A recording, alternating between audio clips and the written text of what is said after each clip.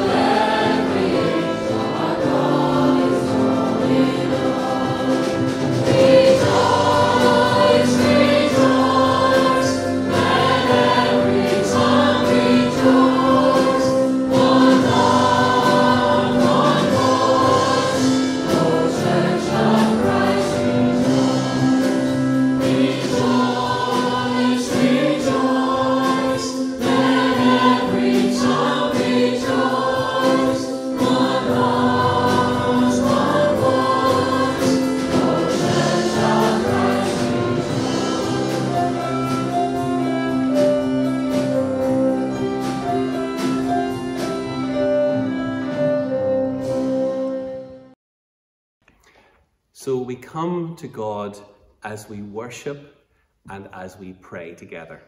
Let's pray. Holy and sovereign Lord, creator of all that is seen and unseen, God of the past, the present, and the future. Out of your freedom and love, you have shown yourself to us in the one who was born in Bethlehem, raised in Nazareth, known by ordinary men and women through acts of grace and words of power, who died in shame but was raised in glory. Saviour of the world, in you alone do we trust, believing that you are the way, the truth, and the life. So we offer you our worship and our praise, sharing in the joy that comes through your Holy Spirit, who draws us into your abundant life and sets us free to live as your children. To you, Lord, be glory forever and ever. Amen. Jesus said, No one comes to the Father but by me. So we need to think about how we haven't always kept our focus on Jesus and we haven't lived the way he has shown us. So, with that in mind, let's confess our sins before him. Heavenly Father, often we confess that Jesus is the way, the truth, and the life. But our actions and our words demonstrate otherwise. He is the way, but so many times we choose not to follow him. We carve out our own paths and we go in the way that just suits us. We say he is the truth, but so often we select the truth we want to follow. He is the life, but we would rather live our own way. Lord, forgive us and renew within us a greater love for Jesus, that following him would bring our greatest joy and knowing him would bring our greatest satisfaction. For your glory and in his name. Amen. Brothers and sisters, Jesus said, don't let your hearts be troubled. Believe in God, believe also in me. For everyone who humbly trusts in Jesus, sins are forgiven, hope is restored. Accept God's grace today and trust in Him. Amen. We're going to sing about that as we sing together, I'm going to trust in God, after which Emily will read Philippians chapter 1, beginning at verse 21.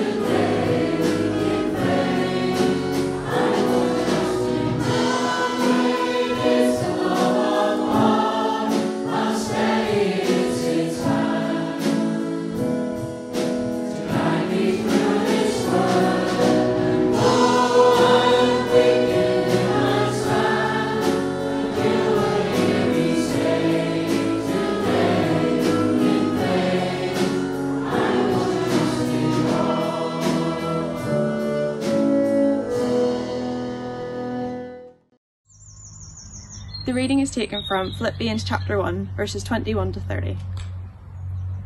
For to me, to live is Christ and to die is gain. If I am to go on living in the body, this will mean fruitful labour for me. Yet what shall I choose? I do not know. I am torn between the two. I desire to depart and be with Christ, which is better by far, but it is more necessary for you that I remain in the body. Convinced of this, I know that I will remain and I will continue with all of you for your progress and joy in the faith, so that through my being with you again, your boasting in Christ Jesus will abound on account of me. Whatever happens, conduct yourselves in a manner worthy of the gospel of Christ. Then, whether I come and see you or only hear about you in my absence, I will know that you stand firm in the one Spirit, striving together as one for the faith of the gospel, without being frightened in any way by those who oppose you. This is a sign to them that they will be destroyed, but that you will be saved, and that by God. For it has been granted to you on behalf of Christ, not only to believe in him, but also to suffer for him since you're going through the same struggle you saw I had and now hear that I still have. So by now, you have papered the hall and stairs, you've painted the shed, you have made enough banana bread to feed the 5,000, you've cleared out all the cupboards, and you've tidied up your stamp collection. What now is there left to do? How are you going to keep yourself motivated over the next days and weeks that lie ahead in this lockdown? Well, maybe you could take up marathon running. A man in Cheltenham decided that he would run a marathon in his back garden. He measured his back garden, six metres long, and he worked out that for him to run a marathon, he would have to go back and forward in his back garden 7,000 times. That's what he did. It took him just over five hours. Or maybe you could be like Dylan Hadfield. Dylan was faced with a summer of no cricket, which was what he loved. So he decided to recreate a little bit of Lord's cricket ground in his back garden. He made the stumps, got the crease, built a pavilion, scoreboards, put advertising panels around, and decorated the whole thing to be like a miniature Lord's. Maybe sport's not your thing. Then what about the man in Stoke who decided to hunt for treasure in his back garden? And as he did that, he discovered a 600 year old medieval silver coin.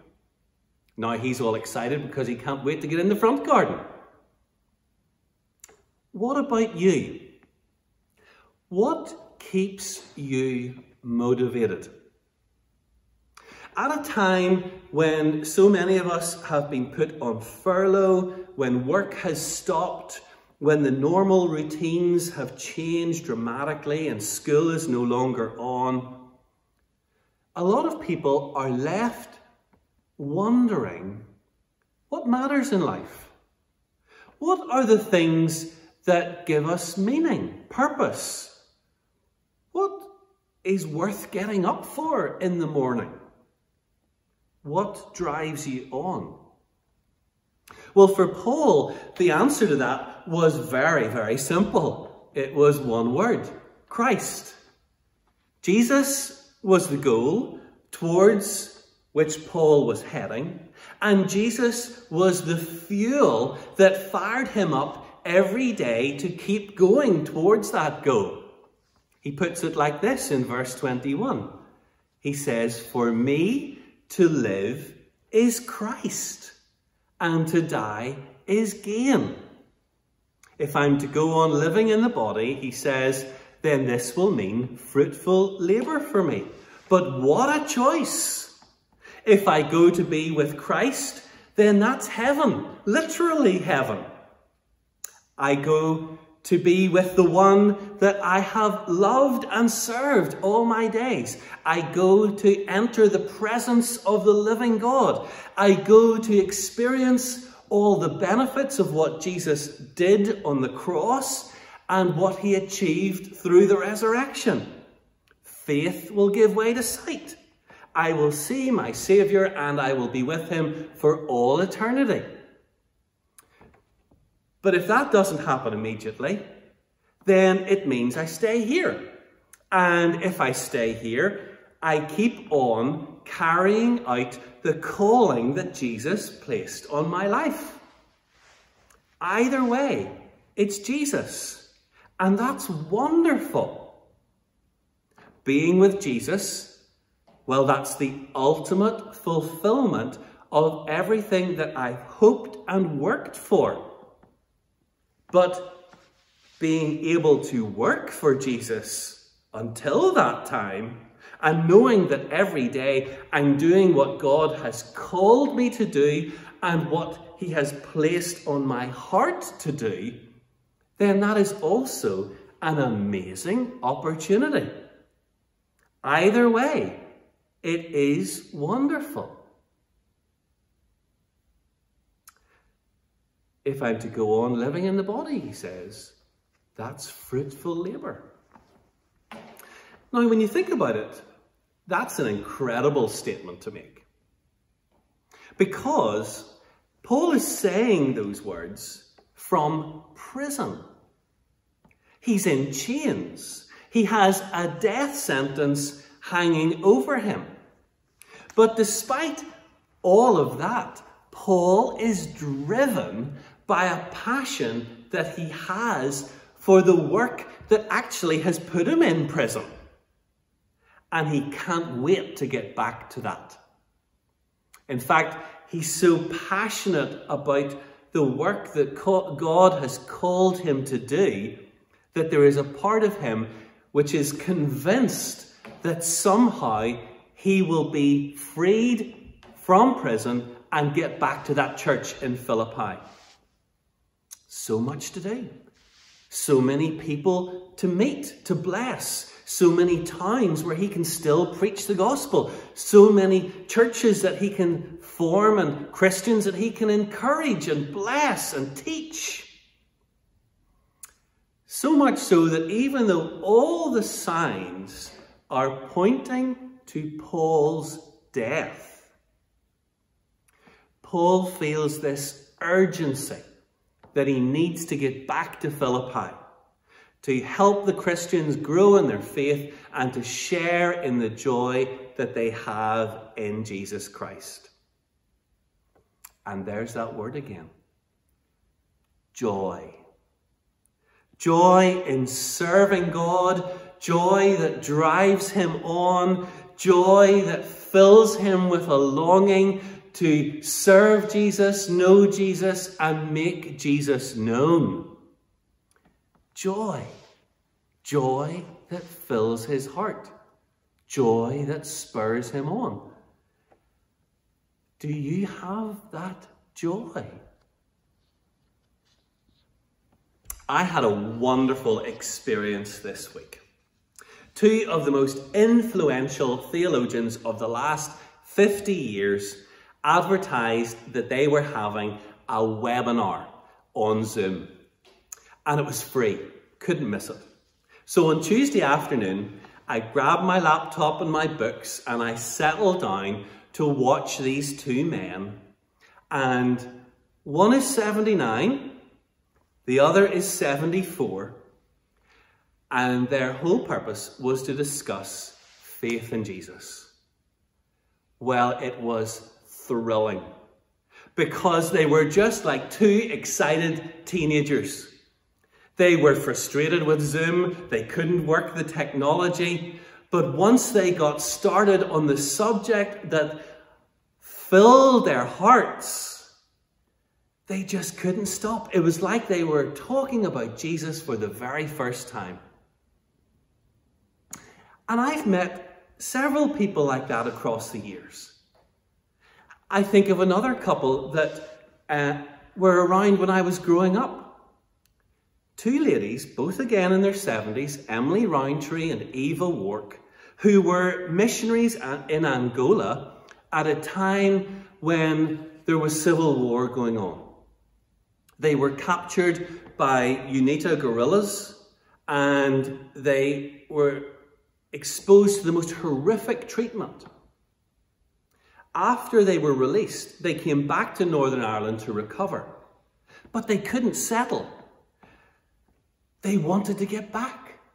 They wanted to get back to Angola, to the churches, to the Christians, because there was so much to do, so many people to bless, a work that God had placed on their hearts, and they wanted to get back to it.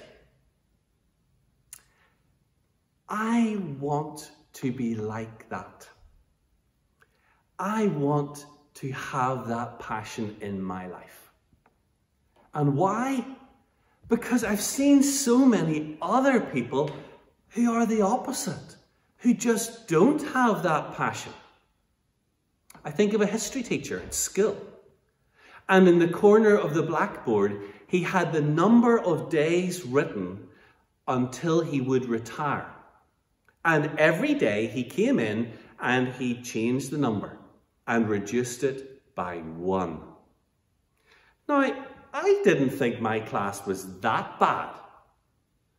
But obviously, he just couldn't wait.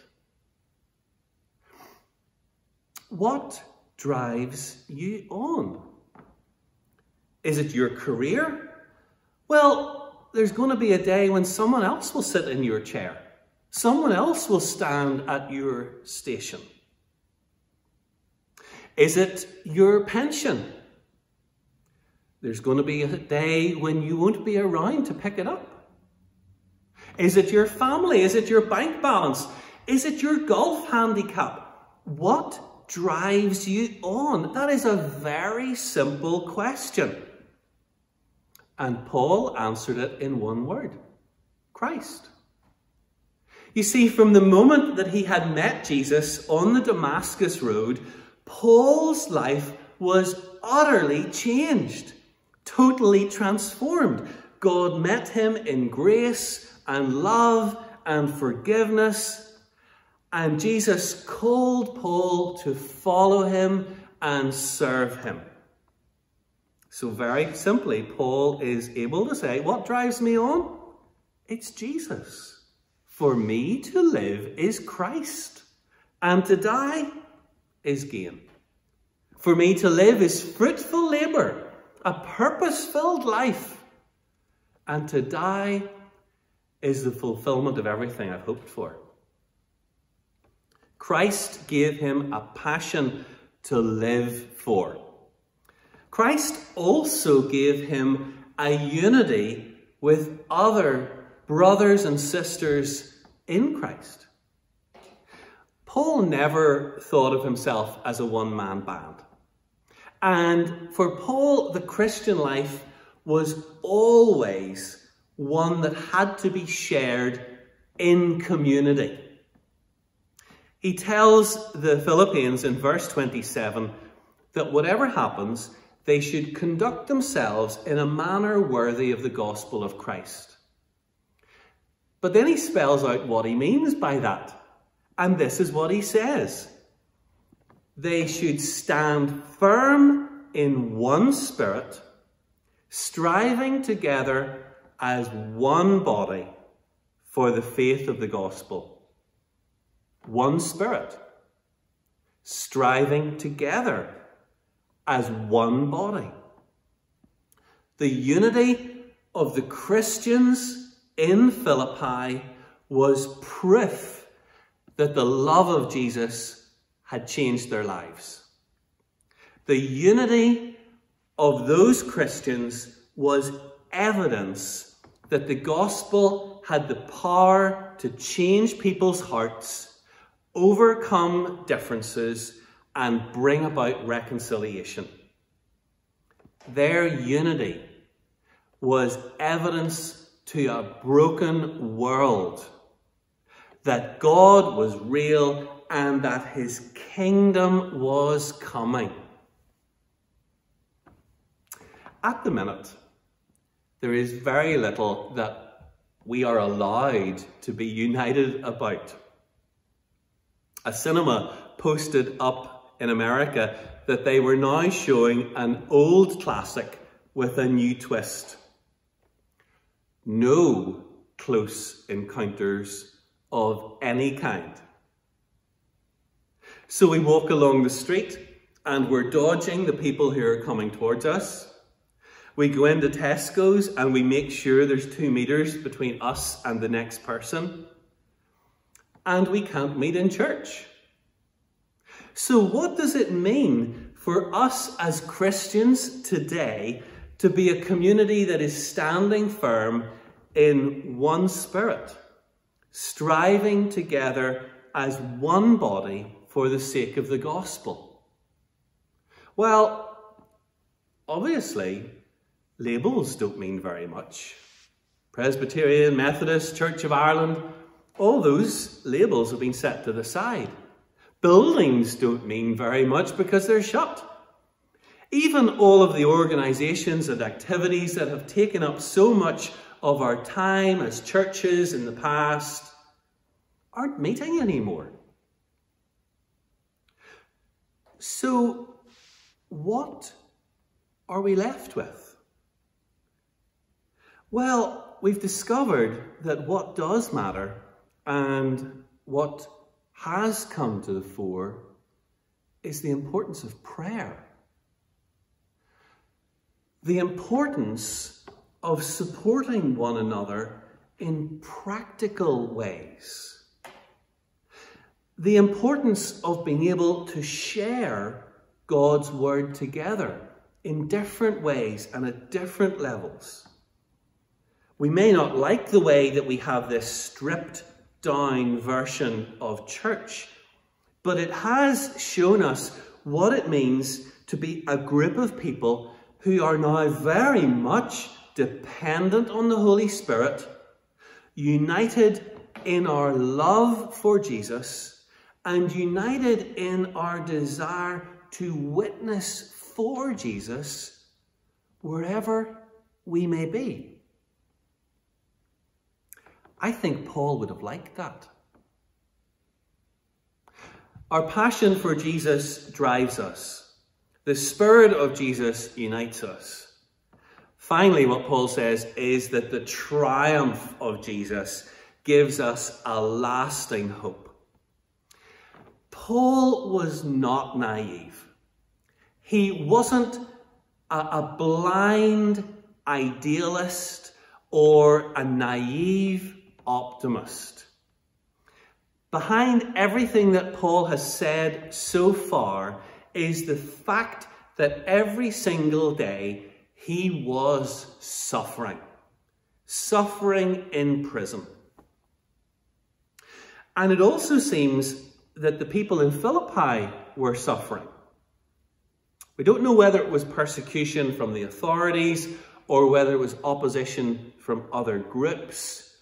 But it seems to have reached a level that Paul says was frightening.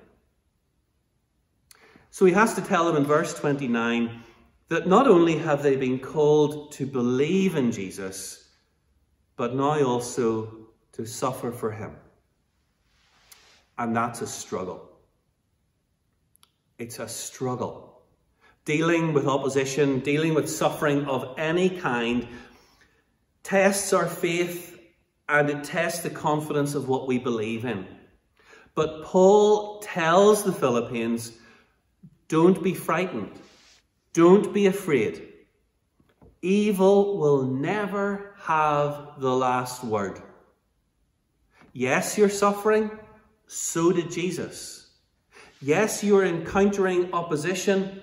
So did Jesus.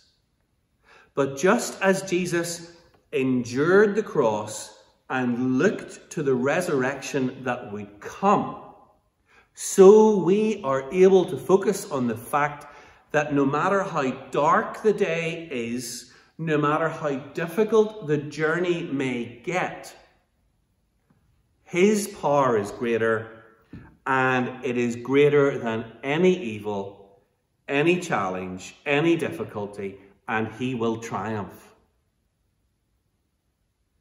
Sometimes we look at the news and it seems as if evil in this world always has the upper hand.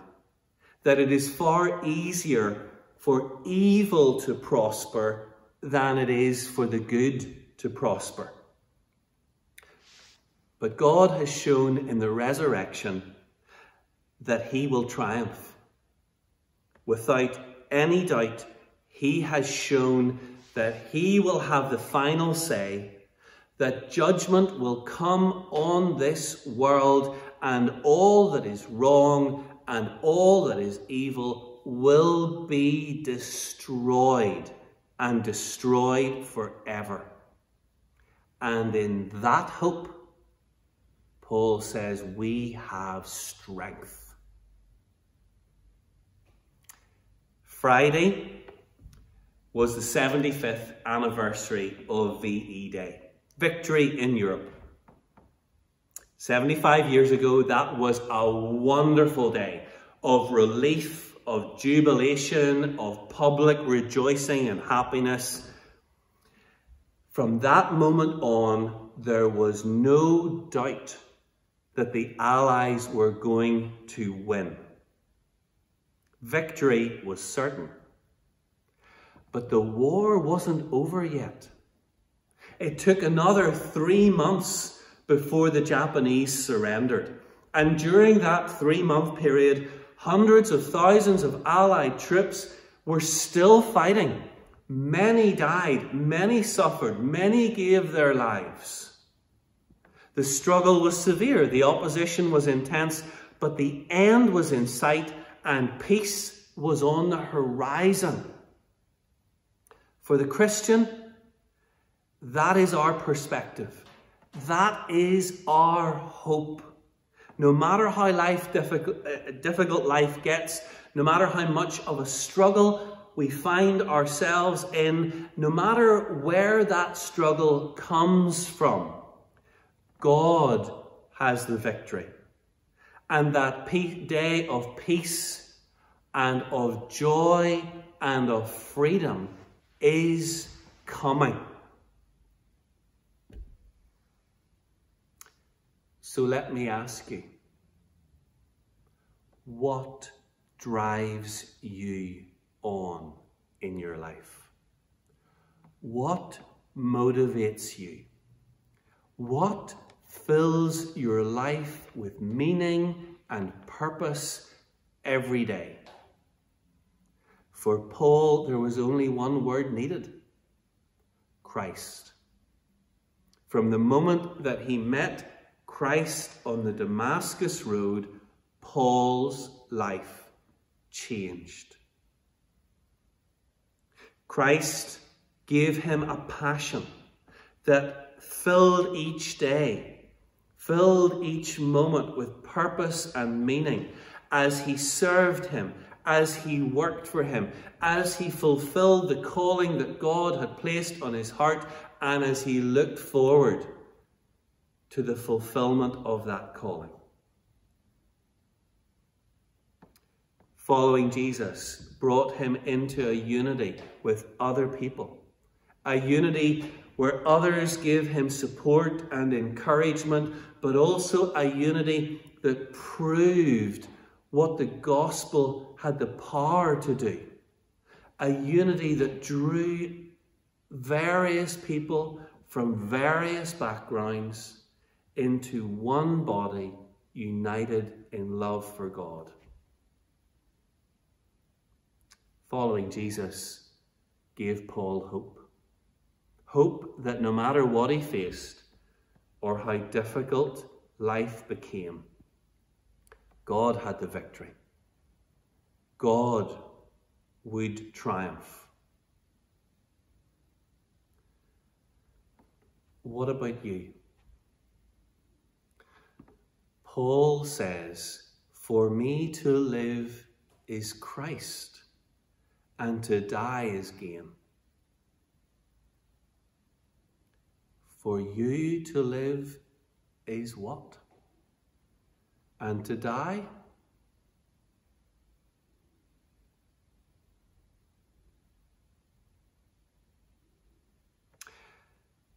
Peter is going to lead us in our prayers, and then the Hamilton family are going to lead us in the Lord's Prayer. Lord, you are the God of power and might. In Jesus, you promised to free our hearts from trouble and give us hope of eternal life in your presence. So we thank you for the peace which your promise gives us and which we so desperately need in these uncertain days. Lord Jesus, you are the way. So we pray for all those who feel lost today. People who feel that the patterns and routines that once gave them security are not there anymore. Those who are living with high levels of anxiety and doubt, fearful of what may happen today and what might lie ahead tomorrow and in the days to come. Lord, may you lead all those who feel lost and give them the security of knowing your love and care. Lord Jesus, you are the truth. We live in times of fake news, and it is difficult for us to know who or what to trust. We find ourselves confused by so much of what we hear in newspapers and on the television, and the issues facing us seem so complicated and unfamiliar. Lord, give us a quiet assurance that comes from knowing that our lives are held by the one who is always true and faithful. And may we be able to point others to that confidence which we have in you. Lord Jesus, you are the life. In recent weeks, we have been confronted with the frailty of our lives and the boundaries of our ability to deal with illness and disease. We have watched loved ones retreat into isolation to avoid harm. We have seen others suffer grief and the loss of friends and family. So it is with deep thankfulness that we know you as the Lord of life. You alone bring resurrection from death and hope from the grave. We pray for all those who are sick, isolated, fearful, or sad, asking that your resurrection power would flow into their lives, bringing hope, healing, and restoration. In the quietness, we pray for those who are on our mind today.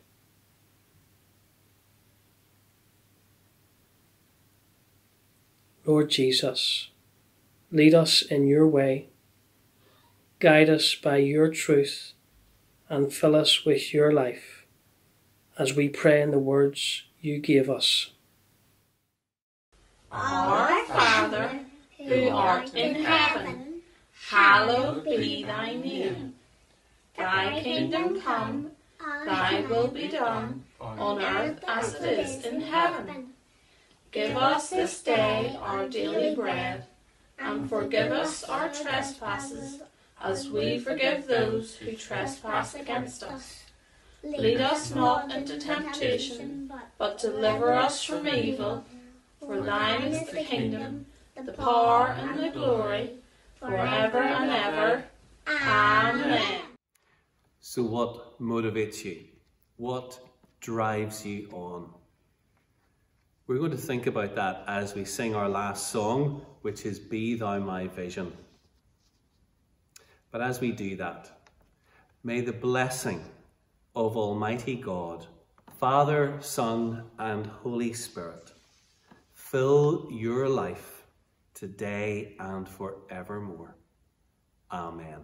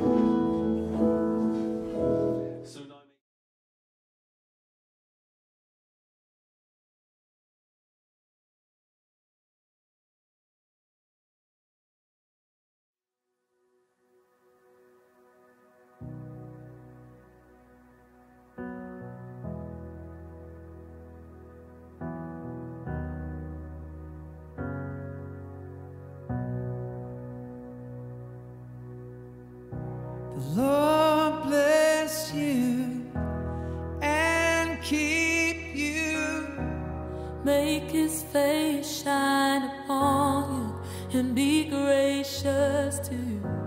Lord,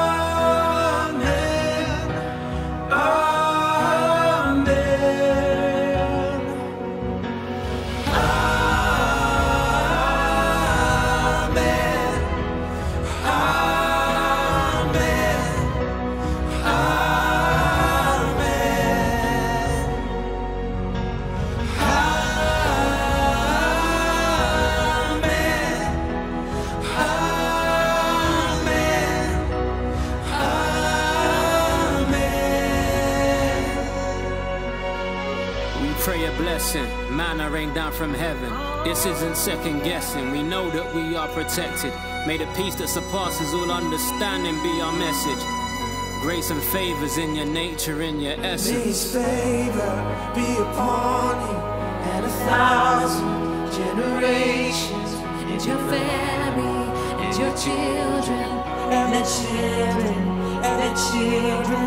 May his favor be upon you and a thousand generations and your family and your children and their children and their children. May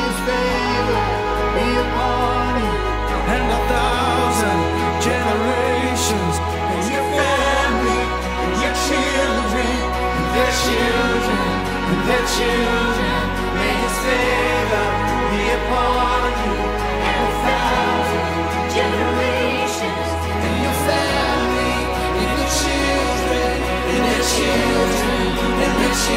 children His presence go before you and behind you and beside you all around.